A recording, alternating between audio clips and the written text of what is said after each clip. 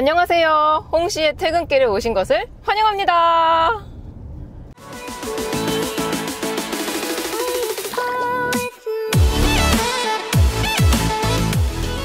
어, 시작하자마자 코너링이네요.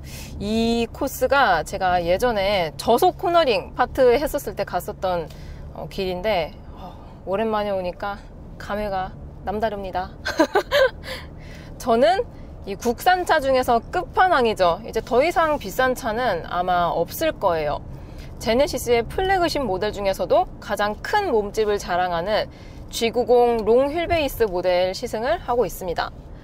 아, 제가 진짜 살면서 이렇게 국산차가 2억 시대가 올지는 상상도 못했습니다. 상상도 못한 전개. 그래서 이 롱 휠베이스 모델은 깡통 시작가가 1억 6,700만 원입니다. 근데 이 차량은 뭐 VIP 시트랑 뭐 2열 패키지 뭐 기타 등등 온갖 뭐 썬루프까지 해가지고 온갖 옵션이 다 적용이 되어 있어서 총액이 1억 8천이 조금 넘습니다. 그러니까 어, 반올림하면은 2억이 되는 건데요. 야 사실 이 2억짜리 차는 고민해서 사는 게 아닌 것 같아요. 일단 제가 생각하건데 차량 가격이 이 억대가 넘어가잖아요. 1억이 넘으면은 그러면 개인적으로 고민해서 사시는 분은 거의 없다고 생각이 듭니다. 어느 정도 어, 이런 재력이 되시는 분들이지 않을까 싶어서 그냥 본인이 사고 싶은 거 사시는 것 같아요. 뭐 이 차는 뭐가 좋고 뭐가 안 좋으며 이렇게 꼼꼼히 비교를 잘 안 할 것 같다는 생각이 드는 거죠. 이 롱 휠베이스 모델 이 차량을 시승하기 전에 저는 어, 일반 세단 모델이죠 G90 풀체인지 모델을 시승했을 때까지만 해도 와 진짜 성공해서 돈 많이 벌어가지고 차는 이런 차를 타야 되는구나 싶었는데 아, 이 롱 휠베이스 모델은 이게 가격 자체가 너무 넘사벽이잖아요 솔직히 거의 돈 2억 하는 차를 아무리 돈이 많아도 저는 그렇게까지 차에 돈을 쓰진 않을 것 같거든요. 차라리 뭐 다른 곳에 투자를 하든지 그럴 것 같은데 너무 이 현실 세계에서 먼 차량이라서 그런지 진짜 좀 아무 생각이 안 듭니다. 그 사세, 그들이 사는 세계에 있는 차 그런 느낌이 들거든요. 그래서 실제로도 아마 일반인이 구입을 하진 않을 것 같아요. 그러니까 G90까지만 하더라도 조금 이제 어, 잘 사시는 분들 아니면 60, 70대 이제 은퇴하시고 조금 이제 경제적 여유가 넉넉하신 분들은 아, 조금 욕심 부려가지고 아, 내 인생에 이제 마지막 차가 될 텐데 조금 좋은 걸 타보자 해서 G90을 타시는 분들이 간혹가다 계십니다. 근데 롱 휠베이스 모델은 일단 가성비라고 말하기도 웃기지만 가성비가 너무 안 좋아요. 너무 안 좋습니다. 일반 세단 모델에 비해서 이 휠베이스가 190mm가 늘어났어요. 그래서 이 전장도 세단과 롱 휠베이스 비교했을 때 190mm가 이게 더 깁니다. 나머지 전폭이라든지 뭐 전고 이런 거는 똑같아요. 아무튼 이 190mm가 늘어남으로써 내가 투, 투자, 그러니까 더 지출해야 되는 금액이 3천만 원입니다. 3천이면 사실 아반떼 풀옵 뽑고도 남고 요즘 이제 소나타 이런 것들도 옵션이 너무 좋게 나왔기 때문에 3천까지 안 가도 탈만하게 쓸 수 있거든요. 그리고 이제 요즘 없어서 못 판다는 스포티지 이런 것들도 한 중옵 이상 뽑으면 한 3천 정도면 사니까 그러니까 스포티지 한 대 가격을 지불함으로써 얻을 수 있는 게 이 롱베이스 전용 20인치 휠 그리고 48V 배터리 그리고 190mm 늘어난 이 휠베이스 요거밖에 없습니다. 근데 그 외에도 이 롱 휠베이스 모델이 무슨 뭐 바가지냐 또 결코 그러진 않아요. 일반 세단 모델에서는 진짜 그 흔하디 흔한 AWD 4륜구동이 옵션입니다. 옵션가가 한 350만 원이 되고요. 그리고 이제 후륜 조향과 멀티 챔버 에어 서스펜션 그거는 희한하게 묶여 있어요. 그거 그러니까 멀티 챔버만 쓸 수 없고 또 이 후륜 조향만 쓸 수가 없더라고요. 희한하게 뭐 구조상 단독으로 쓸 수가 없나 봐요. 아무튼 그래서 멀티 챔버 에어 서스펜션이랑 능동형 후륜 조향 시스템 요거 두 개만 넣더라도 500만 원이에요. 옵션가가. 그 외에도 이런 뭐 시트 에 관한 이런 인테리어에 관한 옵션이라든지 아니면 뭐 하이테크 패키지 이런 기타 등등 이런 첨단 장비들 있잖아요. 이런 것들이 세단 모델에 비해서 롱 휠베이스 모델에는 기본으로 들어가 있습니다. 그래서 이 롱 휠베이스 모델에서 선택할 수 있는 옵션은 사실 2열에 관한 것 빼고는 거의 없어요.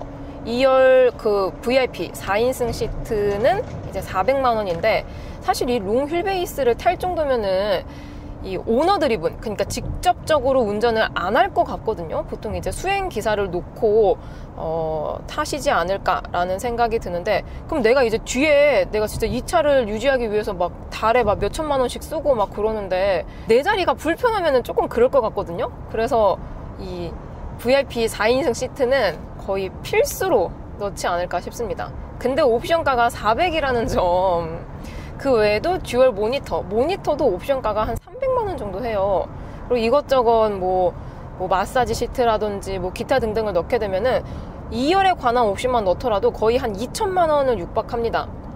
근데 사실 이 1억 6,700짜리 차를 사시면서 그 옵션 2천만 원을 고민을 안 하실 것 같아요. 그냥 훅 넣을 것 같습니다. 그냥 just go! 지금은 고속도로 주행 중인데요. 야, 이렇게 고속 주행 중인데도 풍절음이 거의 안 들려요. 그리고 노면에서 오는 소음도 진짜 넘사벽입니다. 이 차가 어, 총 중량이 2.6톤 정도예요. 되게 무거운 편인 거죠.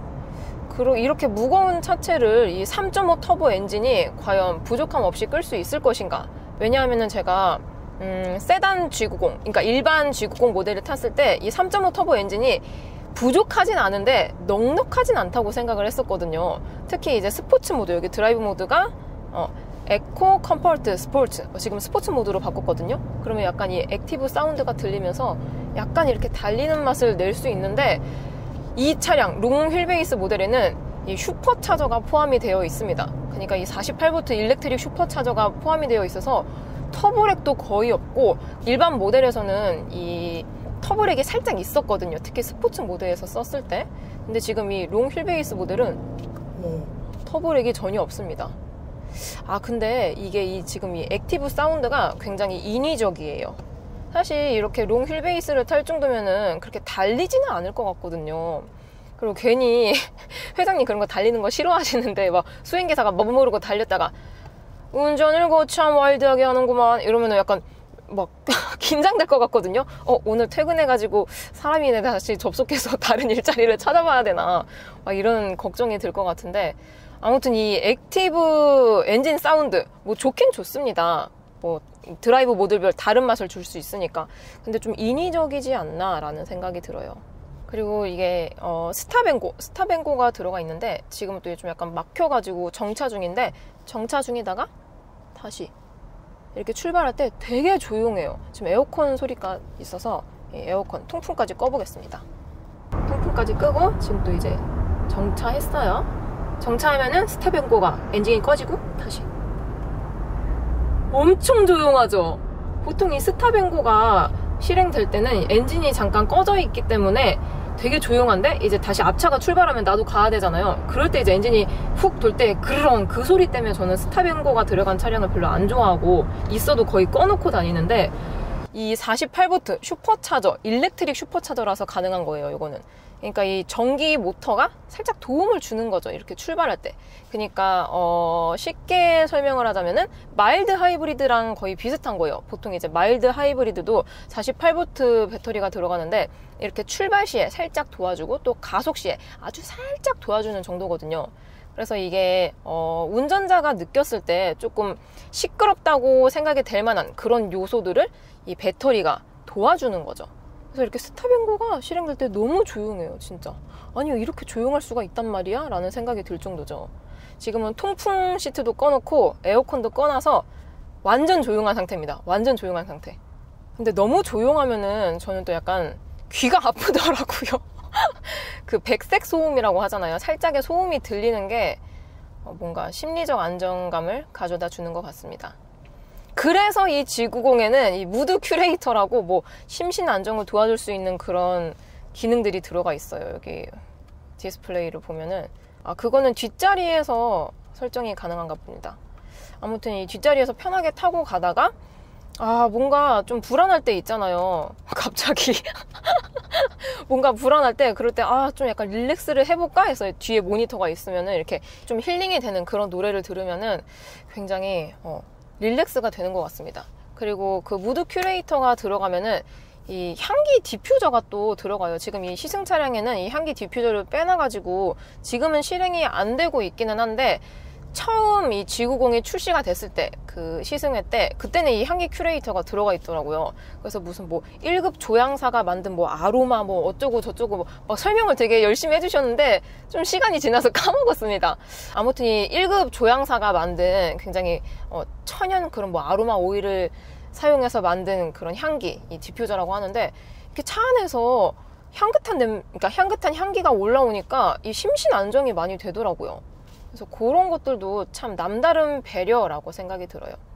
특히 저는 후각에 되게 민감한 편이거든요. 후각이 민감해서 특히 이제 렌터카 같은 거 잘못 탔을 때 전에 탔던 사람이 뭐 실내에서 흡연을 했다. 그럼 귀신같이 그 담배 냄새를 저는 알아차리거든요. 그러면 그 차 타는 동안 계속 기분이 안 좋아 있고 아 담배 냄새 너무 싫다 이러면서 가고 있는데 이렇게 차 안에서 향긋한 냄새가 문을 열자마자 어머 여기가 꽃밭인가 이런 생각이 들면은 어머 여기가 꽃밭인가 이런 생각이 들게끔 이렇게 차 안에서 좋은 냄새가 나니까 이것도 진짜 아이디어가 정말 좋은 것 같아요. 음. 제가 어제 이 G90 long wheelbase 어, 고속 주행을 했을 때는 연비가 12km 정도가 나왔습니다. 이 long wheelbase 어, 공인 연비는 한 8.5였나 8.7이었나 그 정도인데요.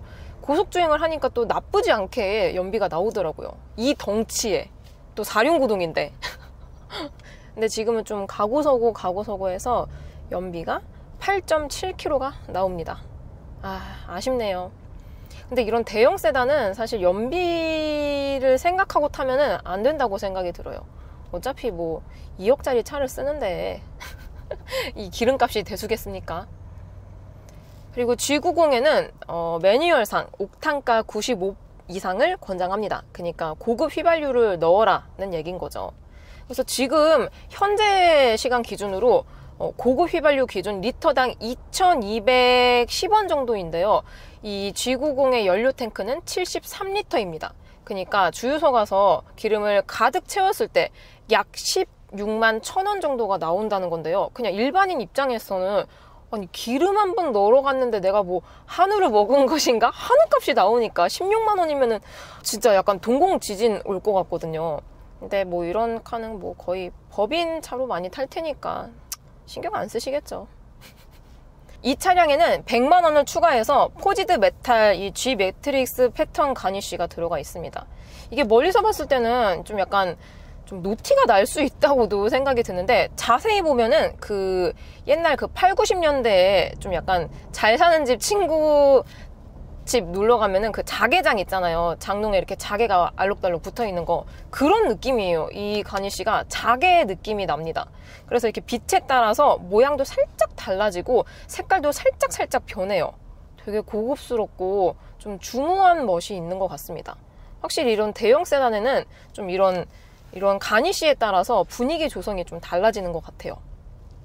그 옛날에 이 국내에 이 자개 장인이 계셨어요. 그래서 그 장인이 이 현대자동차랑 어, 콜라보를 해가지고 내 이 자개를 현대자동차에 좀 넣고 싶다라고 했는데 어떻게 뭐 그게 일이 잘 성사가 안 됐었나 봐요. 그래서 결과적으로 이 현대차에 들어가지 않고 BMW 7 시리즈의 그 자, 자개 장인님이 이거를 놓았다고 하더라고요. 보니까 한 F바디 7 시리즈 정도였던 것 같은데 어, 나쁘지 않아요. 뭔가 고풍스러운 느낌도 나는데 뭔가 이제 BMW는 국산이 아니고 독일에서 온 독일 차잖아요. 그러니까 독일 차에다가 뭔가 한국의 멋이 드니까 되게 이국적인 그런 오묘한 느낌이 났었던 걸로 기억이 납니다.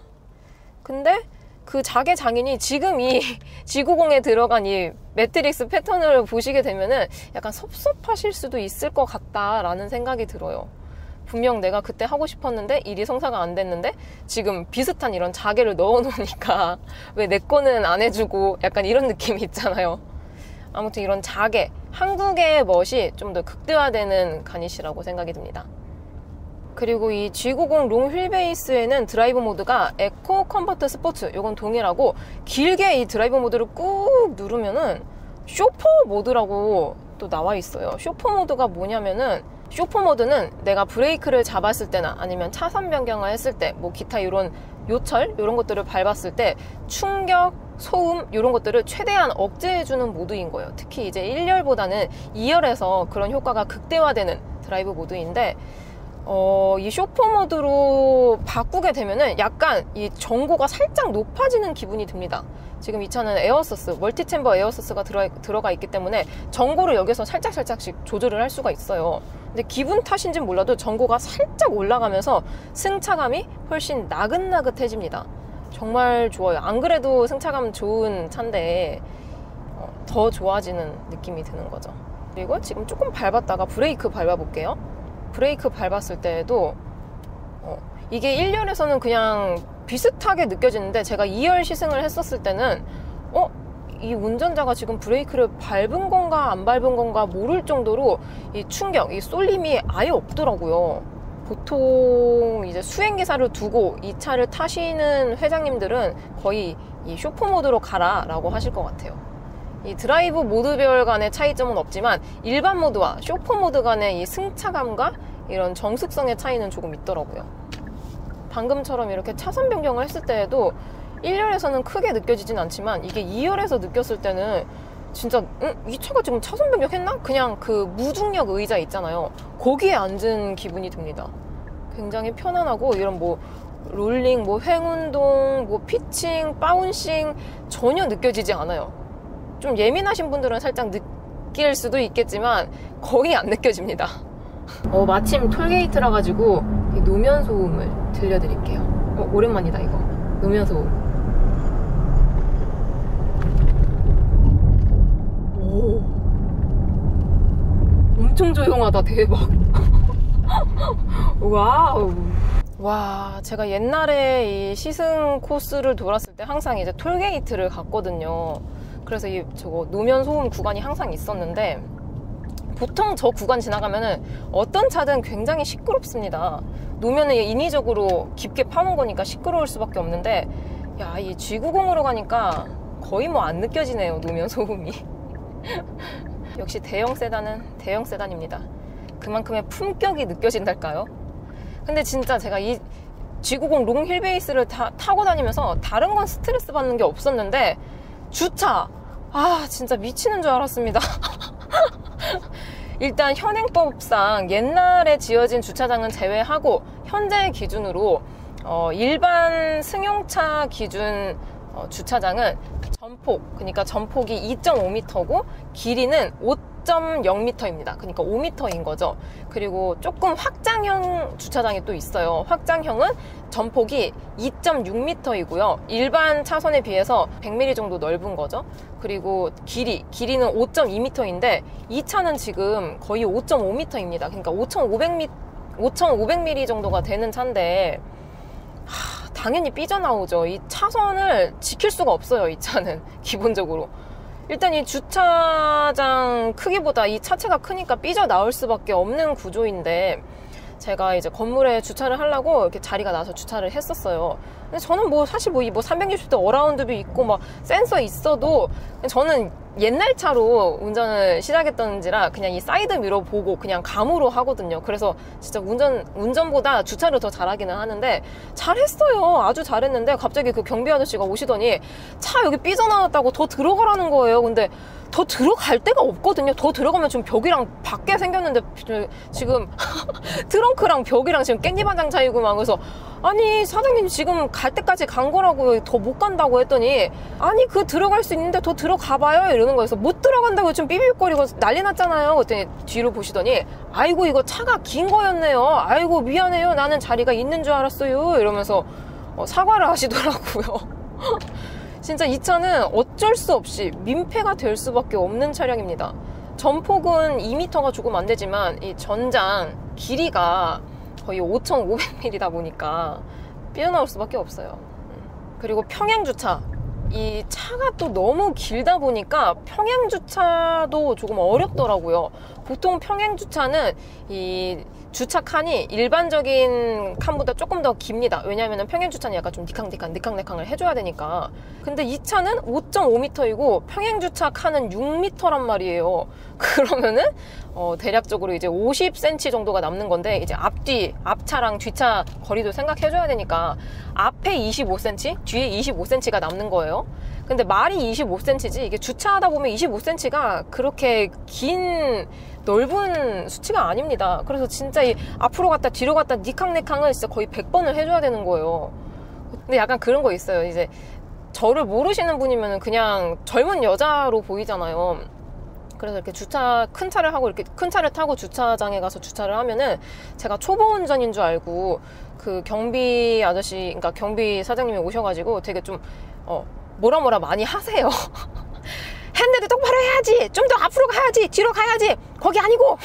이렇게 말을 좀 많이 해, 해주시는데, 음, 항상, 음, 어느 건물을 가든 화나 계신 것 같아요. 그 경비 사장님들은. 왜 그럴까요? 그리고 이 long wheelbase 모델을 선택하게 되면은 블랙 컬러 한정으로 이 double clear 공법이라고 해가지고 이 보통 이제 외장 이 판넬을 도색할 때 철판이 있고요. 그리고 이제 이 도색 칼라를 하고 마지막에 clear 층이라고 해가지고 코팅을 한번 해줍니다. 그래야지 이렇게 반짝반짝 빛이 나니까요. 근데 이 G90 long wheelbase 모델 블랙 컬러 한정으로 이 clear 층을 두 번 씌워준다고 합니다. 그러니까 아 예를 들면 이거 남성분들은 잘 모르실 텐데 여성분들은 이거 되게 공감하실 거예요. 이 매니큐어 칠할 때 보통 이제 base gel 한번 칠하고 color gel 한번 칠하고 마지막에 이렇게 반짝반짝 광택 이제 광을 주기 위해서 어, top coat라고 top을 한번 씌워줍니다. 그러니까 투명한 매니큐어를 한번 더 씌워주는 거예요. 근데 그런 공법이랑 비슷한 거죠. 그러니까 이 차도 좀 더 이제 이런 깊이감 있는 블랙 컬러를 주기 위해서 clear층을 두 번 씌워주는 거죠. 근데 다른 컬러도 두 번 해주지 왜 블랙만 해주지? 그리고 지금 이 차량은 시승 차량이라서 여기 1열에는 썬팅이 거의 안 들어가 있습니다. 어우, 팔에서 소리가 났네. 아무튼 썬팅이 거의 안 들어가 있는데 G90은 이 썬팅을 안 하더라도 tinting을 안 하더라도 기본적으로 자외선 차단 유리가 들어가 있어서 어느 정도는 자외선을 차단을 해줍니다. 근데 이제 이 필름 썬팅을 한 번 더 안 하니까 좀 팔이 따갑기는 하더라고요. 근데 대신 이제 2열이죠. 뒷자리와 이제 썬루프, 썬루프 쪽은 틴팅이 굉장히 진하게 들어가 있어요. 그래서 뒤에서 탔을 때 되게 좀 하늘이 우중충해 보이는 그런 느낌이 있습니다. 약간 그런 거 있잖아요. 회장님들도 밝은 거를 좋아하시지 않을까요? 약간 이제 나이대가 있 으시다 보니까 자연 좋아하시고 이렇게 맑은 거 좋아하실 텐데 딱 하늘을 봤는데 이 썬팅이 너무 진하게 들어가 있으니까 뭔가 우울해지는 느낌이 있더라고요. 썬팅, 이 tinting이 유리 전체에 너무 진하게 들어가 있어서 그것도 조금은 아쉬운 것 같습니다.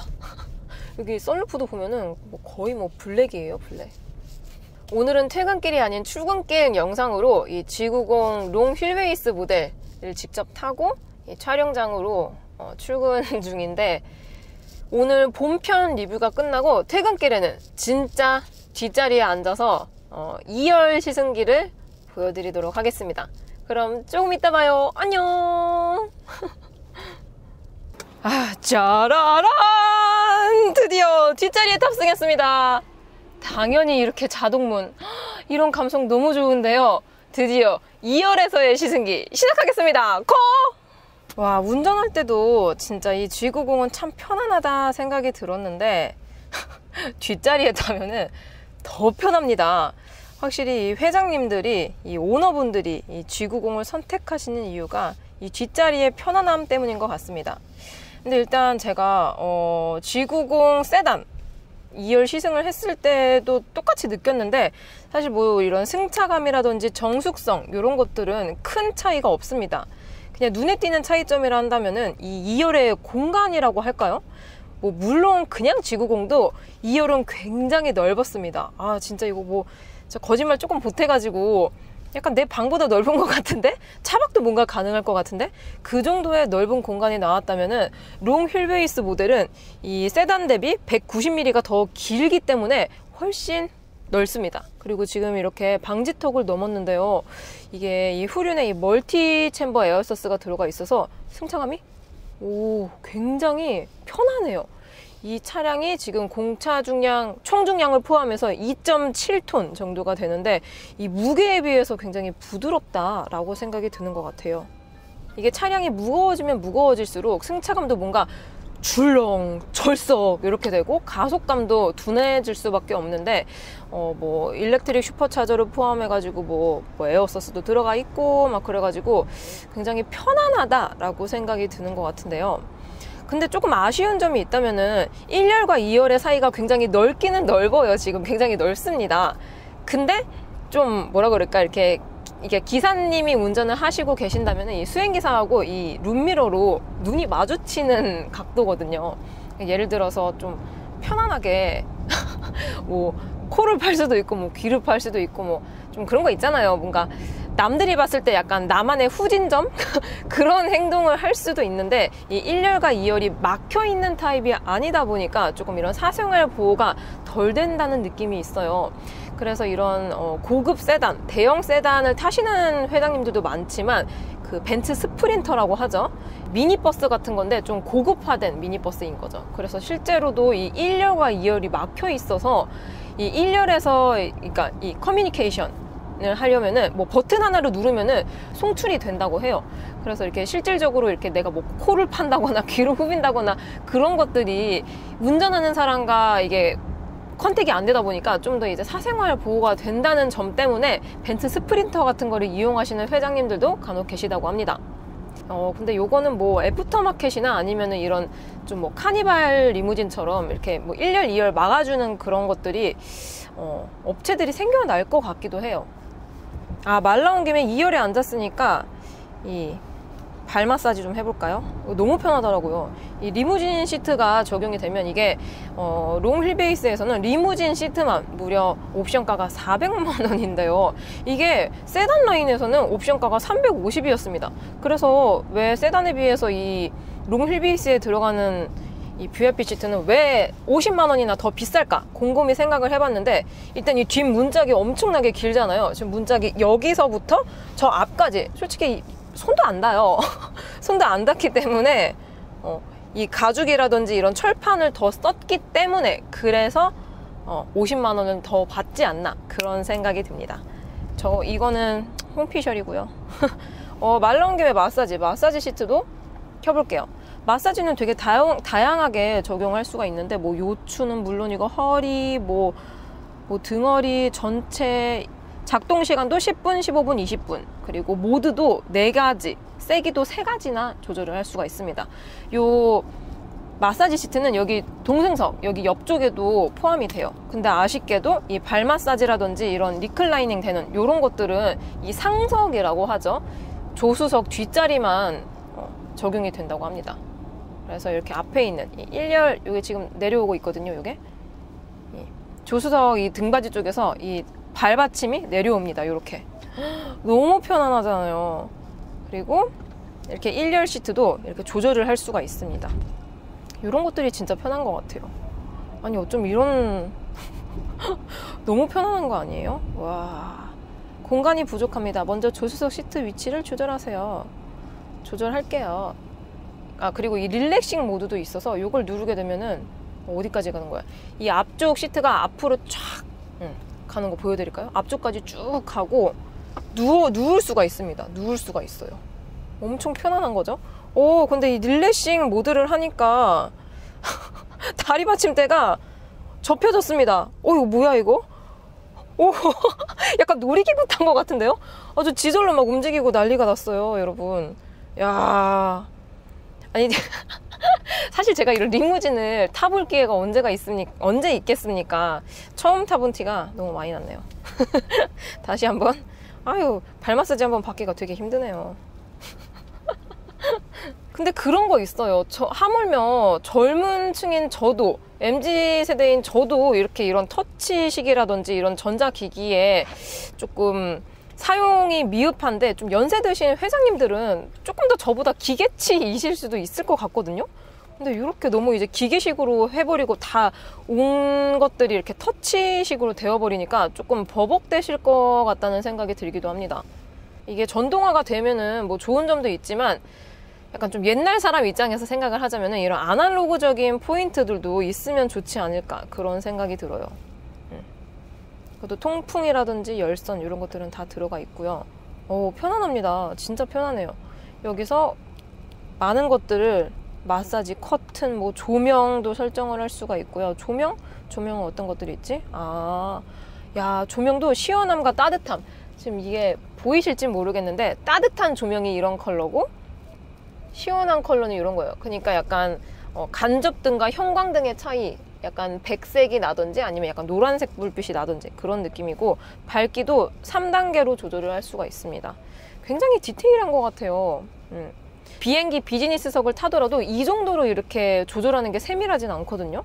근데 와 진짜 이 리무진은 다르네요. 대형 세단 리무진은 다릅니다. 그리고 이 차량에는 뒷좌석 comfort 패키지 이게 옵션가가 500만 원이고요. 이 듀얼 모니터 모니터가 짝당 150 그러니까 두 개 들어가 있으니까 300만 원짜리인데요. 이것도 이제 여기 armrest에 있는 음, 통합 컨트롤러로 조절을 할 수가 있습니다. 굉장히 다양한 것들을 볼 수 있어요. 그리고 만약에 이 운전기사가 목적지를 찍어놨다면 현재 지금 어디로 가는지도 볼 수가 있고요. 현재 시속, 속도도 알 수 있고 그리고 평균 속도 그런 거라든지 아니면은 도착까지 남은 시간 그리고 지금 뭐 어느 쪽으로 뭐, 뭐 동서남북 뭐 그쪽으로 가고 있나 뭐 몇백 미터 남았나 이런 것까지 디테일하게 볼 수가 있고요. 또 아 이 화면을 보여드리는데 조금 아쉽네요. 그리고 이 카메라 센서가 굉장히 많이 달려 있어서 전 후방은 물론이고 측면까지 여기 모니터로 볼 수가 있습니다. 그래서 회장님 입장에서는 아, 이 수행기사가 운전을 잘 하나 안 하나? 이렇게 좀 약간 감시 좀 이렇게 다양하게 볼 수 있어서 좋을 것 같은데 제가 만약에 이 월급 받는 수행 기사 입장이라면은 길 잘못 들 수도 있잖아요. 처음 가는 길이면은 근데 막 길 잘못 들고 그러면은 어 얘가 길을 잘못 들었네 이러면서 왜 느리게 가나 왜 빠르게 가나 막 이렇게 좀 그럴 것 같기도 하거든요. 좀 약간 수행기사 입장에서는 CCTV 감시당하는 기분이 들 수도 있을 것 같다 그런 생각이 드네요. 지금은 어, 쇼퍼 모드로 바꿨습니다. 제가 1열에서 오늘 출근하면서 어, 느꼈었던 쇼퍼 모드는 조금 승차감이 좋아지고 뭔가 전고가 에어서스가 쑥 늘어나면서 좀 더 정숙성이 좋아졌다라고 생각이 드는데 지금 쇼퍼 모드로 바꿨거든요.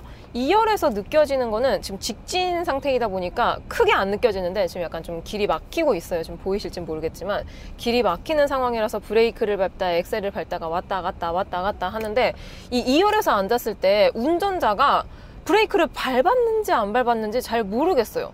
그만큼 이제 이 쏠림이라고 하죠. 이런 어, 피칭 연산 이런 것들이 아예 거의 안 느껴진다라고 할 수가 있고요. 또 좀 이따가 이제 차선 변경도 해볼 건데요. 그때도 어, 이 횡운동 이것들이 2열에서 얼마나 느껴지는지 말씀을 드릴게요. 이게 지금 앞쪽 전방 상황을 카메라로 보고 있어서 그렇지 계속 브레이크를 밟고 있거든요. 지금 또 이게 차선 변경을 했는데요. 보통의 차들은 뒷자리에 앉았을 때 이 차선 변경을 하게 되면 이렇게 좀 이렇게 쏠리게 됩니다. 아무래도 이렇게 피칭이라고 하죠. 아, 롤링이라고 하죠. 이렇게 옆으로 쏠리는 게 있는데 지금 chauffeur 모드로 해서 이 승차감 지향을 위해서 서스가 조금 더 늘어났고 이렇게 어, 횡 운동을 할 때 별로 티가 안 나요. 그래서 2열 승객을 위해서는 이 chauffeur 모드가 필수인 것 같습니다. 정말 편안하네요. 그리고 이거 제가 이 G90 시승회 때도 말을 했지만 이 comfort 패키지 2열 comfort 패키지를 선택하면은 요 머리 베개라고 하죠? 이 목 베개가 달려 나오는데 이거 진짜 이거 너무 좋아요. 이거 어디 거야? 너무 편안합니다 진짜. 이거 있고 없고가 이 머리 착좌감이 굉장히 다르다고 생각이 들어요. 요 머리 이거 이 촉감이 굉장히 좋은 것 같아요. 요즘 또 이제 신형 팰리세이드 어, 그런 것들은 이제 2열에 승객을 편안하게 하기 위해서 wing-out headrest. 요즘은 이제 조금 이제 높은 급의 차량에게 wing-out headrest가 적용이 되는데 저는 그거보다 이 목베개 이게 더 편안하다고 생각이 듭니다. 이거 진짜 편안한 것 같아요. 근데 이게 신형 그랜저에도 이제 옵션을 넣게 되면은 요 목베개를 주더라고요. 그렇게 되면 약간 하극상 아닌가? 가격 차이가 그랜저가 솔직히 아무리 풀옵을 뽑더라도 이 G90보다 반의 반의 반 가격이거든요. 풀로 뽑아도 5천 원인 5천만 원인데 음, ambient light, ambient light도 2열까지 잊지 않고 넣어놨습니다. 여기 이 컨트롤러에도 조명이 들어오고요.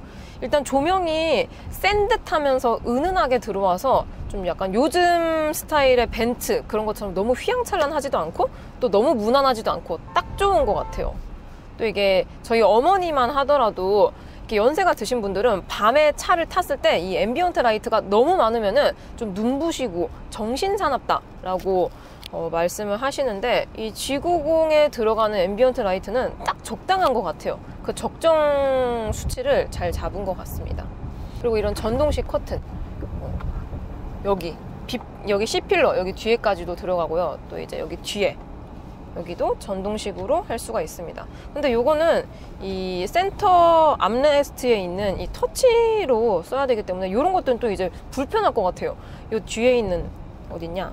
음, 음, 이게 전동식인데 이런 것들은 운전석에서 컨트롤이 불가하더라고요. 이런 sunscreen 같은 것들은 이 뒷자리 사람이 조절을 해야 됩니다. 그래서 이런 것들은 좀 불편한 것 같아요. 만약에 회장님이 아 야 답답하다 이것 좀 열어라 그랬는데 할 수가 없어. 그러면 약간 당황스럽잖아요.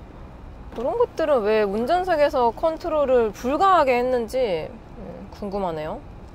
그리고 이 썬루프 이건 제가 1열 운전하면서도 말을 했지만 아, 이 틴팅이 너무 과도하게 들어간 것이 아닌가 생각이 듭니다. 하늘이 보이지가 않아요. 그래서 이 파노라마 썬루프 이게 옵션가가 거의 한 2, 300이 되는데 하늘이 안 보입니다, 여러분. 거의 지금 뭐 비오기 일보 직전에 그런 칼라를 가지고 있어서 이건 조금 아쉬운 것 같아요. 뭐 프라이버시를 위해서 tinting을 기본부터 많이 넣어놨다고 하긴 하는데 좀 적당히 넣어놨으면 어땠을까 하는 생각이 들고요. 그 외에 이 뱅앤올룹슨 이 스피커도 일반 세단 모델에서 넣으려면은 어, 옵션가가 4, 500이 들어갔는데 long wheelbase에서는 기본으로 이 스피커가 23개가 들어갑니다. 그리고 이 화장 거울도 동일하고요. 근데 좀 안 좋은 점이 세단 모델을 탔을 때는 이런 비필러 이런 에어벤트도 그렇고 손에 다 닿았던 기억이 있는데 이롱 휠베이스는 휠베이스가 190mm가 길어졌으니까 손이 안 닿습니다 여러분 제가 팔이 진짜 긴 편인데도 손이 안 닿아요 그래서 이 거울을 한번 보더라도 아이쿠 이러면서 한번 이렇게 해줘야 되고 이 터치할 때도 아이쿠 하면서 이렇게 해줘야 되니까 그게 조금 불편한 것 같습니다. 자 이렇게 음, G90 롱 휠베이스 모델 어, 뒷자리 시승, 시승기까지 마쳤습니다. 아, 제 인생에 앞으로 이런 차를 언제 타볼까 싶기는 하지만 어, 여러분들도 하시는 일 성공하셔가지고 이렇게 대형 세단 타시는 날이 하루빨리 오셨으면 좋겠습니다.